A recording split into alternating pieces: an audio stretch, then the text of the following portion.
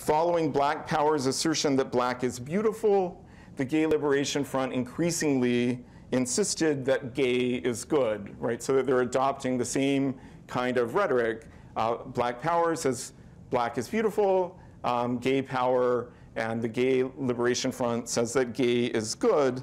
And they began to think of themselves as a revolutionary group that sought gay and sexual liberation more generally. And we can see sort of on the right in this image from New York University and student activism there, right, that gay power is being linked explicitly to black power, to women power, to student power, all power to the people, right? It's, it's thought of as part of this kind of broad movement of social groups who are not endeavoring just to get rights for gay men and lesbians, but are endeavoring to transform American society more broadly.